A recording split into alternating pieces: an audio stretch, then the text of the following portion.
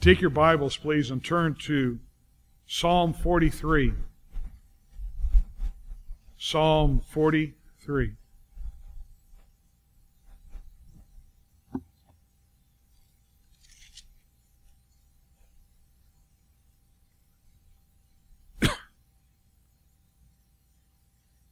Judge me, O God, and plead my cause against an ungodly nation. O deliver me from the deceitful and unjust man. For thou art the God of my strength. Why dost thou cast me off? Why go I mourning because of the oppression of the enemy? O send out thy light and thy truth. Let them lead me. Let them bring me unto thy holy hill and to thy tabernacles. Then will I go unto the altar of God, unto God my exceeding joy. Yea, upon the harp will I praise thee, O God, my God. Why art thou cast down, O my soul? Why art thou disquieted within me?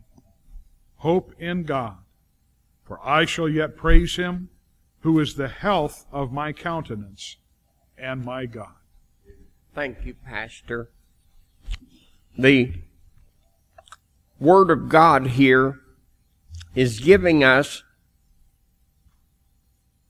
some hope in the Lord. He started out with his struggles. I want you to see, first of all, the problems. The problems. An ungodly nation. Deceitful and unjust men. He said, Lord, we need you to deliver us from this. And we see America as an ungodly nation tonight.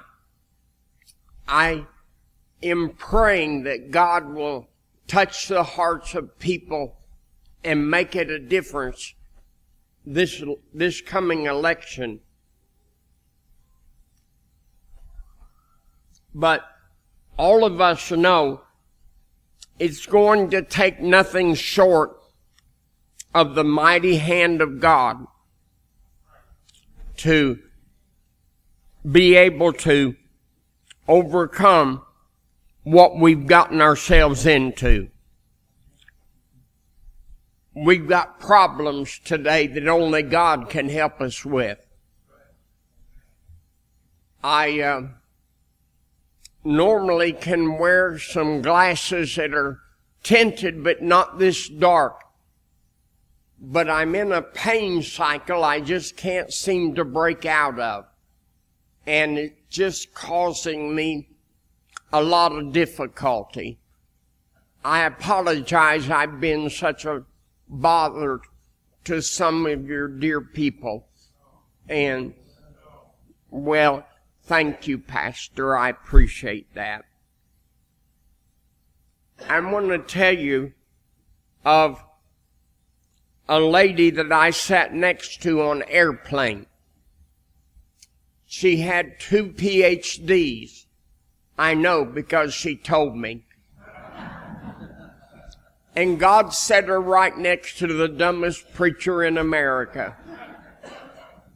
And the woman lost it. She is really getting mad. I struck up a conversation to witness to her. And she is so mad when she speaks to me. Spit is coming out of her mouth and hitting me in the side of my face. I tell you, the woman was in bad shape.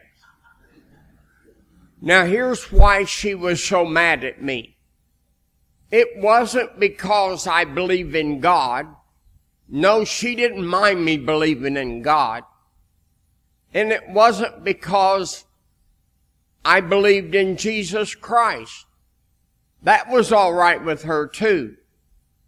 But what she didn't like was when I said that God made one door in heaven and that door was Jesus Christ.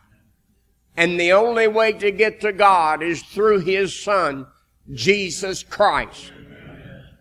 That angered her, but that is the truth. What I'm telling you is the truth.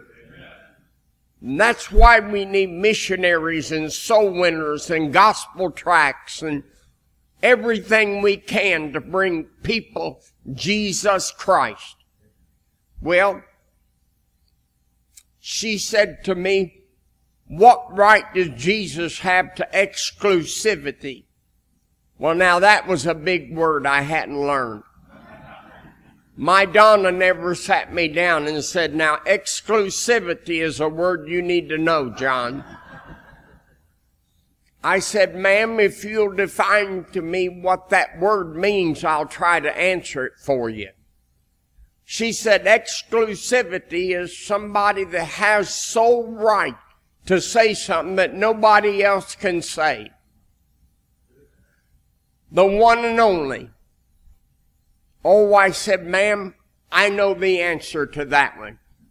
I said, Jesus, when he walked here on the earth, he lived and walked among his disciples and peoples and multitudes. And he told them that he would die. But three days later, he would get out of the grave. And I said, ma'am, when you can get out of the grave when you say you will, you make your own rules. she was really frustrated with me. She said, Oh, I bet you're one of those that believe God made the world in seven days. I said, no ma'am, he did it in six. He rested on the seventh.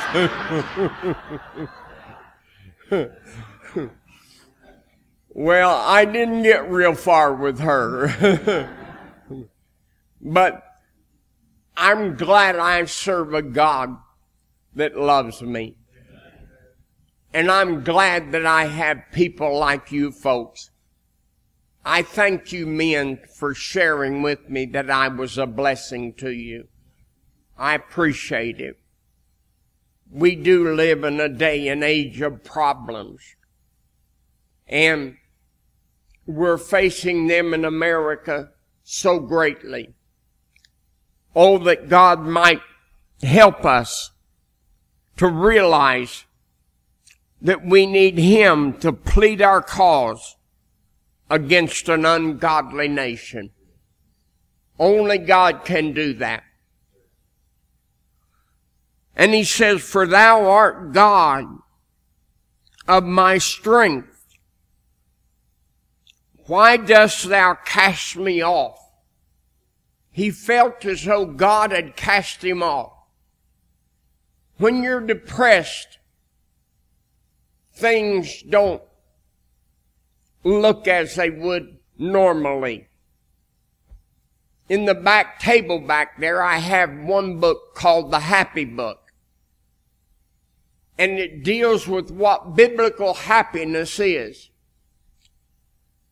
We are to have joy, and that is most important is having joy. But according to Jesus, when he washed feet disciples, he says, if you know these things, happy are ye if you do them.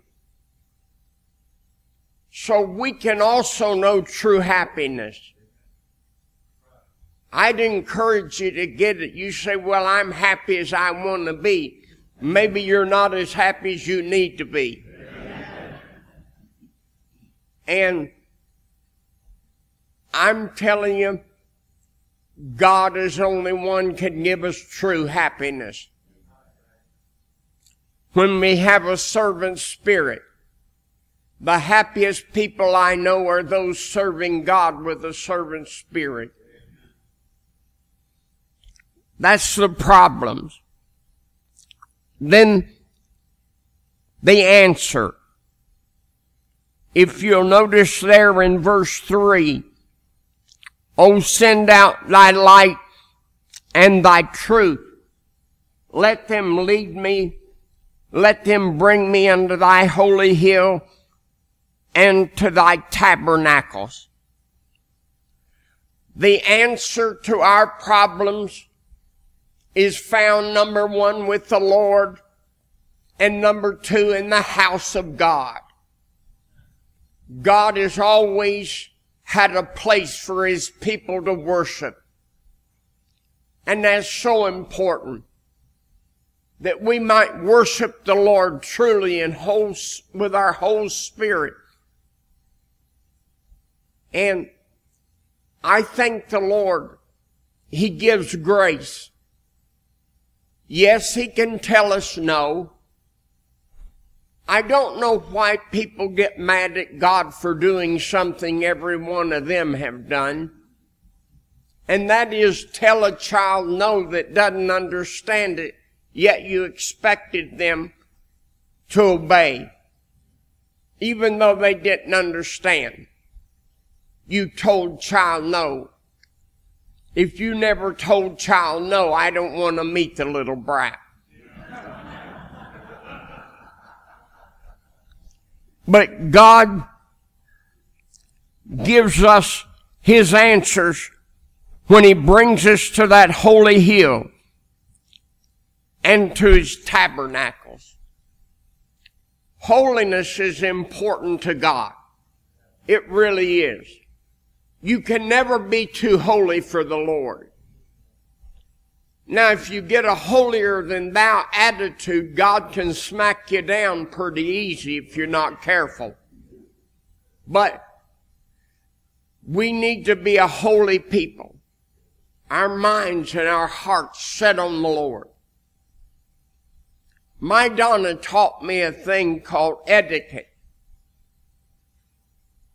And I was in a motel and the, in the bottom floor of that motel was a restaurant. The pastor had me there and my Donna wasn't with me this time and I was going, they told me just go down and eat breakfast and sign your name to the room you're in and we'll take care of those meals. So, that's what I did. I got done eating my breakfast and the lady said, is there anything else? And I told the waitress, yes, I'd like another cup of hot chocolate. I don't care for coffee, but I do love hot chocolate. And so she went and got it. I moved my plate forward and I set it right there on the edge. When she grabbed my plate and lifted it up, it just whished the side of that cup and that hot chocolate went right to my lap. I did the first thing I could think of. I took my ice water and poured on top of it. That's how you put out a fire. she went, oh, and I did too, but a different reason. well, after about two towels of trying to clean up the mess, I told her I thought I had enough. I'd go to the room then. And I'm starting out of that room. I didn't have a jacket or I would have put it around my waist. And I was wearing khaki pants. So, I was a mess. And I noticed this lady coming in. She had not learned the etiquette my Donna taught. She was staring at me. And I thought to myself, I probably ought to say something to the lady. About the time we passed each other, I said, I had an accident. she said, I reckon. oh boy, that was a mess.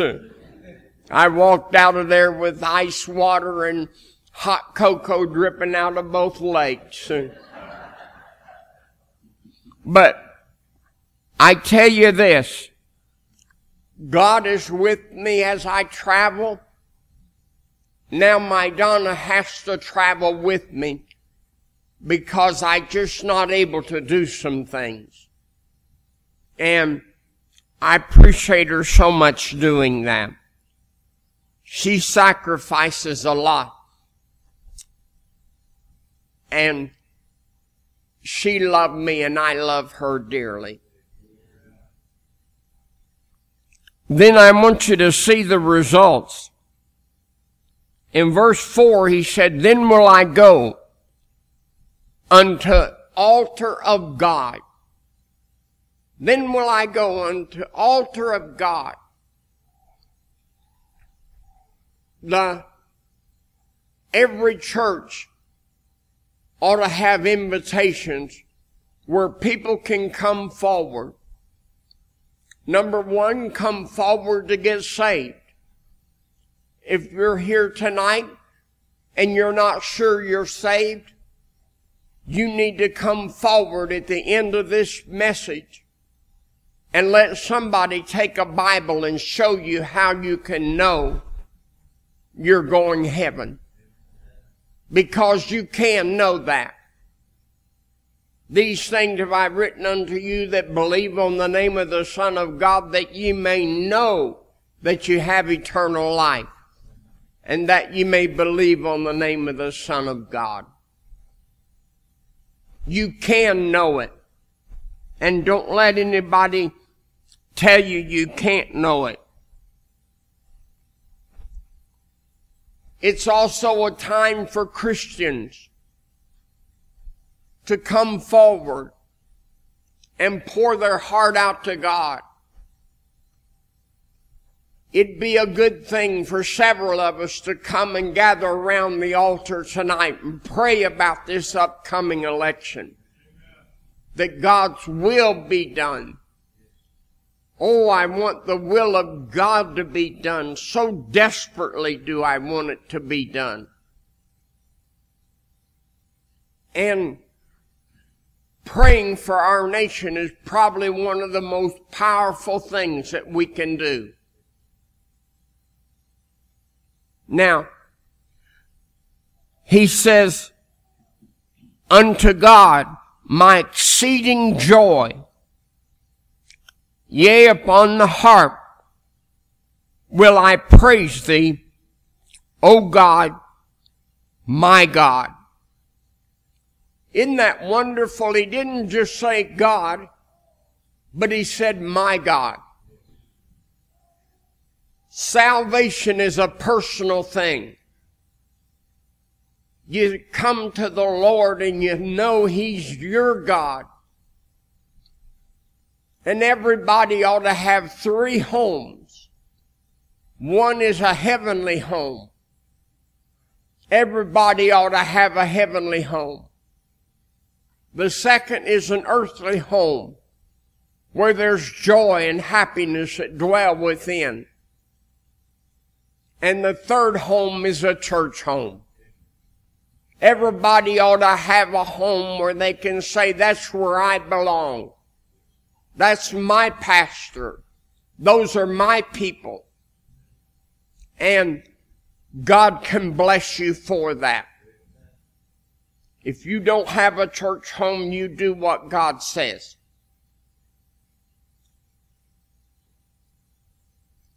Here, and it says in verse 5,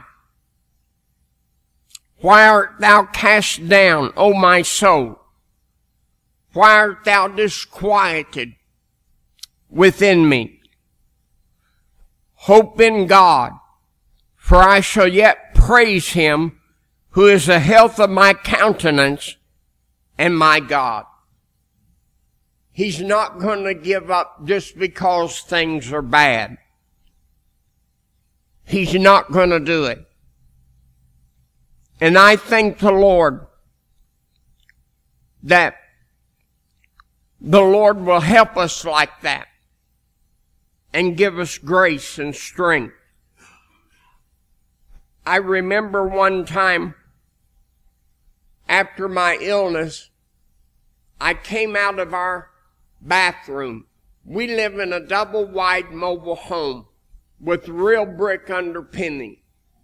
And we have two bathrooms. My Donna and I have our bathroom. And I came out of there one day and she said, boy, you smell good. What'd you put on? I said, I didn't put anything on. She said, You must have because you smell good. She walked in the bathroom and where normally my hairspray sat was a room deodorant. I smelled like a pine tree. but ladies, I wouldn't change if I were you. it doesn't hold worth anything. and one day I got in shower and I put shampoo in my hand and rub it on my head, but there was no bubbles. I knew shampoo's supposed to bubble. So I put some more on there and thought maybe I just need some extra. Still no bubble. I gave up, put it back. I got out and I said, Donna, this shampoo in here's shot. It won't bubble. She came in and found out that was her body oil. I looked like Elvis Presley.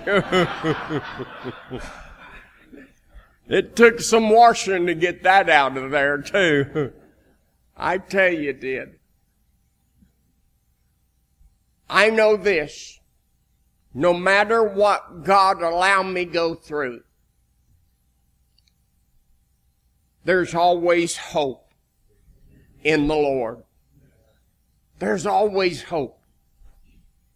And I hope tonight if you're here and you feel downcast, you feel forsaken, that you'll just turn to the Lord and with all your heart just pour it out to Him and say, Lord, please be with me.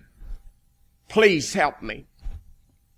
He said, to thine altar, O Lord. I tell you, churches that God use, use the altar. I don't know how long ago it's been since you've been to an old fashioned altar to pray. But you ought to come regularly and faithfully. When I home and pastor preaching, rarely does a service go by that I don't come to the altar to get closer to the Lord. I heard one preacher friend of mine put it this way. The fire of God rarely falls on an empty altar. And I believe that true. If you want the fire of God to fall on your churches, and I do appreciate Brother Dennis bringing some of his people that a blessing. I'm glad these two men are friends, aren't you? We're not in competition with each other. We're out to reach people that only God can give to us. And I've known Brother Dennis for years now. I knew him when he was in Louisiana. I put him on a prayer list that I have of preachers and evangelists and missionaries. And I prayed for him when he was on the mission field. I've been continued to pray for him when he was out here, California. Every Tuesday, Thursday, and Saturday, unless I'm traveling or very ill. I mention his name in prayer to God Almighty. And I'll have Brother Rogers on my prayer list too when I get back home. And pray for him. But let's use the altar tonight. Unashamedly. You say, well, people might think bad of me. Humble yourself and come anyhow. One thing that using an old fashioned altar does, it helps you humble yourself. And when you humble yourself under the mighty hand of God, He'll lift you up. He'll exalt you in due time. That's so important. Let's go to the Lord in prayer.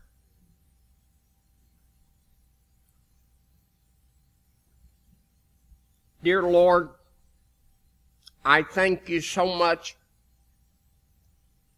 for my Savior, Jesus Christ. And Lord, I pray that you will help each and every one of us.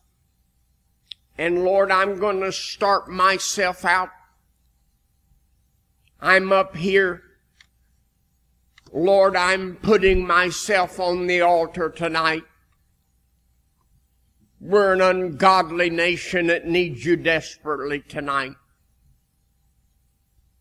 We have people around us that don't care for you and people around us that don't know you or love you. Please use us here tonight to spark a revival in both of these churches. And the Lord would use to reach out to multitudes of people. Lord, that my prayer. Please bless. I'm turn over to the pastor.